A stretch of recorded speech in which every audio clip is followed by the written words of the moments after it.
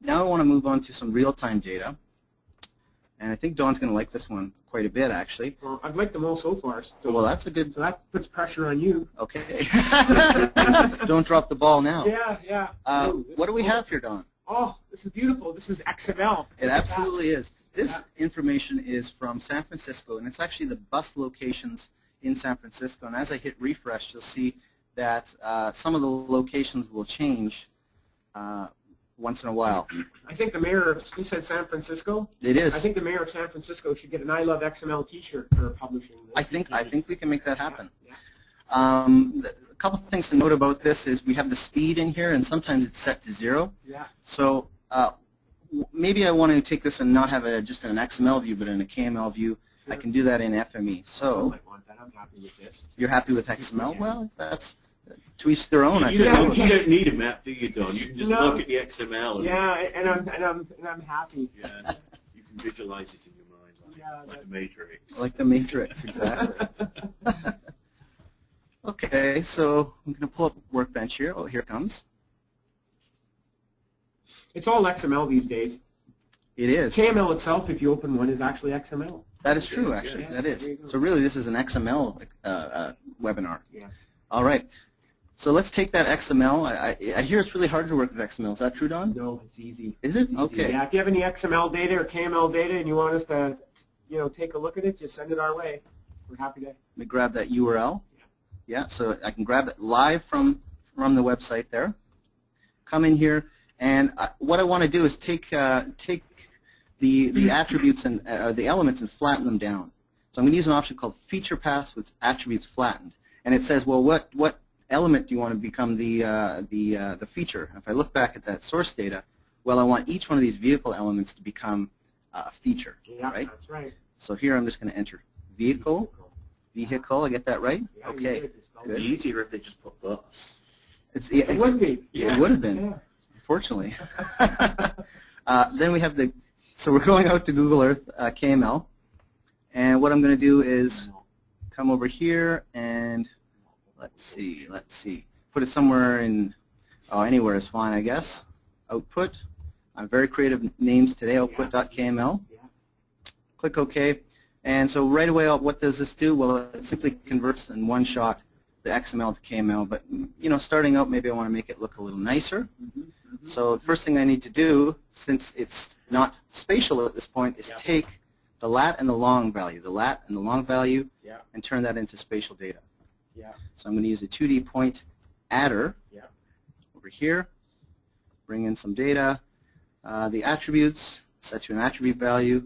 I always get this wrong, and this is the, what is it again there, Don? It's lawn. Yeah, okay, you thank say, you. Uh, yeah, flat lawn. Yeah, if you go the other way, it, it views very strangely. At one time I was doing a presentation and two people in the audience got into a heated discussion about whether lat was X or Y and anyway, that wasn't the point I was trying to make, so now I just rename them whenever I do demos, things like that.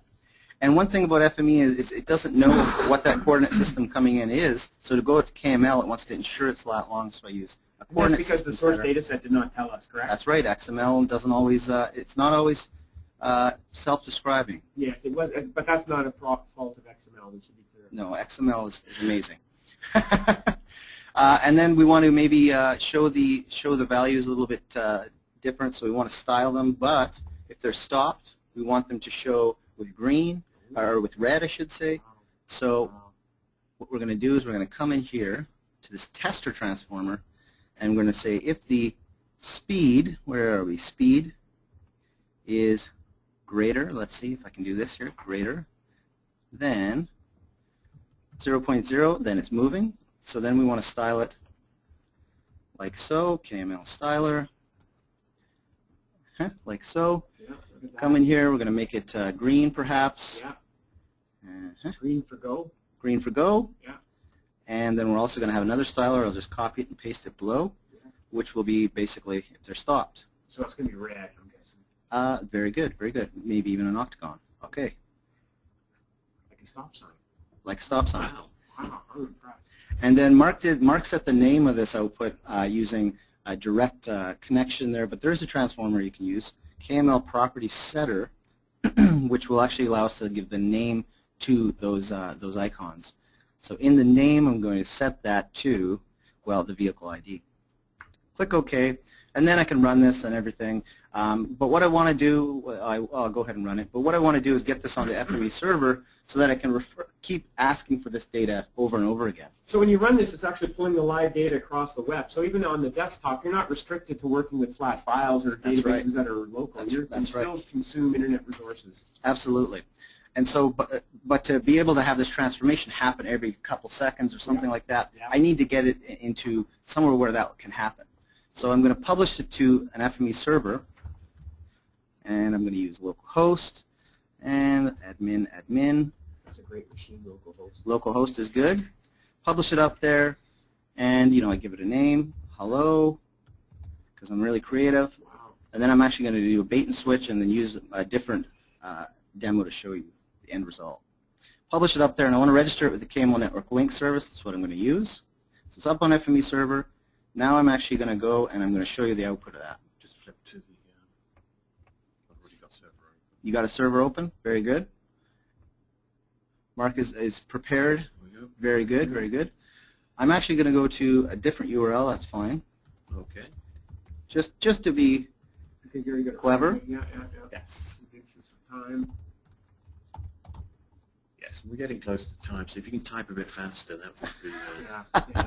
I'm trying to I'm trying to jump it up there. Okay, so here we've got the, the buses. I'm going to hit run on this KML Network link. It's going to prompt me. That's going to open up in Google Earth. And let's go. Let's jump to the top. Uh-huh. Double click this network link Over to San Francisco. over to San Francisco. It zooms in and it gives me green and red and this thing refreshes every couple seconds. So this is what's happening in San Francisco right now. right now this is what's happening. Now, uh, just the last demo, what if I wanted to actually show the orientation of these? Sure. Because that's an XML, one of the XML elements or attributes. Yeah. Um, you can see that right, well, I won't bother showing it. But you'd add another transformer, change the icon to basically point in the right direction kind of thing? Exactly, exactly. And then what you would get is something that looks more like that, Wow. where it would actually show which way you're going. Yeah, yeah. Now, how are we doing on time, Mark? Do we uh, have do you need to be wrapping up? In about Wrapping minutes. That's two minutes ago. Yeah. about two minutes ago. Yes. W- Well, I will uh, wrap it up then, I think, or should I show one more? I think we're, We're good. What were you going to show? I was going to show the street intersection. Uh, Okay. well, let's show it. Sure. That takes one minute, right? It's better to be showing demos. Than Yeah. than talking, I think so. That's right, yeah. Yeah. And I'm going to show, basically this is how you can uh, load bigger data Mark, volumes. This is FMEpedia, so Absolutely. here? We have some privacy concerns apparently, but that's Okay, fine. yeah. No, that's just me being paranoid on my computer. Okay, well, better safe than sorry. has that for, it has FMEpedia flagged. Warning So you I go have here. Everything flagged. I trust nobody. So there's a demo on here that allows you to load in some bigger data sets. Let's run it live. And what it does, just to be clear, is it actually loads uh, all the data in there and then only asks for a refresh of that data. So let's zoom over here. Zoom in. Now, as things change, the information gets updated. So this is almost like a dashboard where you can see the, the current things that are happening. Okay, so this Um, is all the intersections in some city? Uh, yeah, Interopolis, Okay. Austin, Texas. Okay, and only when data's changed is it sent? So Only when data's changed, yeah. Okay. So it doesn't ask for the entire data set every time. That's right. Yeah. Okay, Well, that's I got to wrap up now, folks. Yeah. But um, I'm going to hand it back over to Mark at this point. okay. Great.